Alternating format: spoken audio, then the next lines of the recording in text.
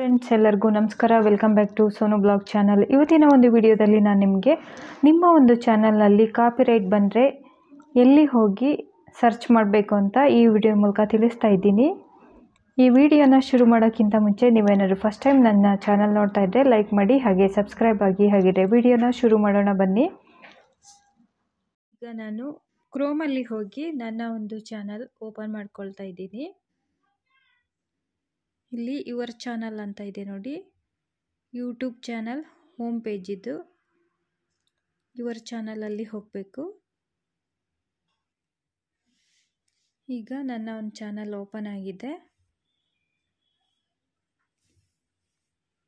ಈಗ ಇಲ್ಲಿ ಹೋಗಿ ಕ್ಲಿಕ್ನ ಮಾಡಬೇಕು ಈ ಮೆನಲ್ಲಿ ಇಲ್ಲಿ ಕಂಟೆಂಟ್ ಅಂತ ಇದೆ ನೋಡಿ. ಇದಕ್ಕೆ ಓಕೆ ಕೊಡಬೇಕು. ಇಲ್ಲಿ ಫುಲ್ ವೀಡಿಯೋಸ್ ಓಪನ್ ಆಗುತ್ತೆ. ನಾವು ಏನೇನು ವೀಡಿಯೋಸ್ ಹಾಕಿದ್ದೀವಿ ಅದು. ಇಲ್ಲಿ ನಿಮಗೆ ಒಂದು ಇಂಟರ್ಫೇಸ್ ಕಾಣಿಸ್ತಾ ಇದೆಯಲ್ಲ? ರಿಸ್ಟ್ರಿಕ್ಷನ್ಸ್ ಅಂತ ಇದೆ ನೋಡಿ ಇಲ್ಲಿ. ಇಲ್ಲಿ ನನ್ನ ಅಂತ ಇದೆ. ನನ್ನ ಅಂತ ಇದ್ದರೆ ಕಾಪಿರೈಟ್ ಏನಿಲ್ಲ ಅಂತ. ಕಾಪಿರೈಟ್ ಇದ್ದರೆ ಇಲ್ಲಿನೇ ಬಂದುಬಿಡುತ್ತೆ ಫ್ರೆಂಡ್ಸ್ ಇಲ್ಲಿ ಕಾಪಿರೈಟ್ ಕ್ಲೇಮ್ ಅಂತ ಕೊಡ್ತಾರೆ. ನನ್ನ ಅಂತ ಇರಲ್ಲ ಕಾಪಿರೈಟ್ ಕ್ಲೇಮ್ ಅಂತ ಇಲ್ಲಿ ಮೆನ್ಷನ್ ಮಾಡಿರ್ತಾರೆ. ಇದು ನನ್ನ ಚಾನಲ್ಗೆ ಕಾಪಿರೈಟ್ ಇಲ್ಲ.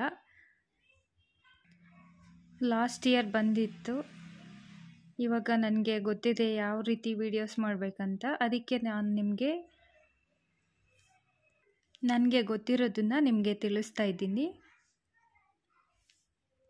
ನಿಮ್ಮ ಚಾನಲ್ ಡೀಟೇಲ್ಸ್ ಎಲ್ಲ ನೋಡಬೇಕಂದ್ರೆ ಇಲ್ಲೇ ಹೋಗಿ ಎಲ್ಲ ಚೆಕ್ ಮಾಡ್ಕೋಬೇಕು ಫ್ರೆಂಡ್ಸ್ ಇಲ್ಲೇ ಗೊತ್ತಾಗೋದು. ಕಾಪಿರೈಟ್ ಬಂದಿದೆಯಾ ಇಲ್ವಾ ಅಂತ.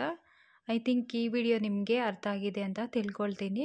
ಏನಾದರೂ ಇದ್ದರೆ ಕಮೆಂಟ್ಸಲ್ಲಿ ಕಮೆಂಟ್ ಮಾಡಿ. ನಿಮ್ಮ ಒಂದು ಚಾನಲ್ನಲ್ಲಿ ಕಾಪಿರೈಟ್ ಕ್ಲೇಮ್ ಬರಬಾರ್ದು ಅಂದರೆ ಈ ಟಿಪ್ಸ್ನ ಫಾಲೋ ಮಾಡಿ.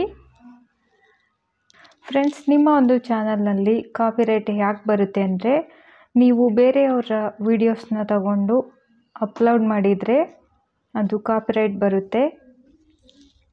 ಯಾಕಂದರೆ ಅವರು ಅಪ್ಲೋಡ್ ಮಾಡಿರೋ ಕಂಟೆಂಟನ್ನ ನೀವು ಮತ್ತೆ ಡೌನ್ಲೋಡ್ ಮಾಡಿ ಅಪ್ಲೋಡ್ ಮಾಡಿದ್ರೆ ಕಾಪಿರೈಟ್ ಅಂತ ಕೊಟ್ಟೆ ಕೊಡ್ತಾರೆ.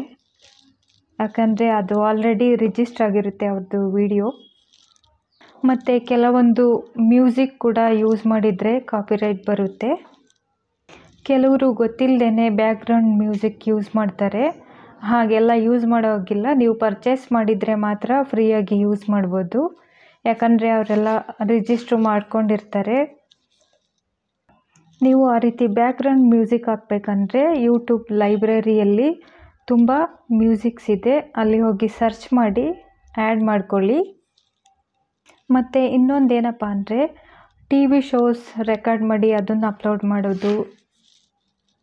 ಮತ್ತು ಸೋಷಿಯಲ್ ಮೀಡಿಯಾದಲ್ಲಿ ಶೇರ್ ಮಾಡಿರೋ ವಿಡಿಯೋಸ್ ಎಕ್ಸಾಂಪಲ್ ವಾಟ್ಸಪ್ಪಲ್ಲಿ ಮತ್ತು ಇನ್ಸ್ಟಾಗ್ರಾಮಲ್ಲಿ ಶೇರ್ ಮಾಡಿರೋ ವಿಡಿಯೋಸ್ ಎಲ್ಲ ಅಪ್ಲೋಡ್ ಮಾಡಿದ್ರೂ ಕಾಪಿರೈಟ್ ಬಂದೇ ಬರುತ್ತೆ. ಅದಕ್ಕೆ ಆದಷ್ಟು ನಿಮ್ಮ ಒರಿಜಿನಲ್ ಕಂಟೆಂಟ್ನ ಮಾಡಿ. ಇದು ನನ್ನ ಎಕ್ಸ್ಪೀರಿಯೆನ್ಸ್ ಅದಕ್ಕೆ ನಿಮಗೆ ಶೇರ್ ಮಾಡ್ತಾ ಇದ್ದೀನಿ. ಇದು ನನ್ನ ಸೆಕೆಂಡ್ ಚಾನಲ್ ನೋಡಿದ್ರಲ್ಲ ಫ್ರೆಂಡ್ಸ್ ಈ ಟಿಪ್ಸ್ ನಿಮಗೆ ಇಷ್ಟ ಆಗಿದ್ದರೆ ಲೈಕ್ ಮಾಡಿ, ಶೇರ್ ಮಾಡಿ, ಹಾಗೆ ಸಬ್ಸ್ಕ್ರೈಬ್ ಮಾಡಿ. Thank you for watching this video ಎಲ್ಲರಿಗೂ ನನ್ನ ಧನ್ಯವಾದಗಳು.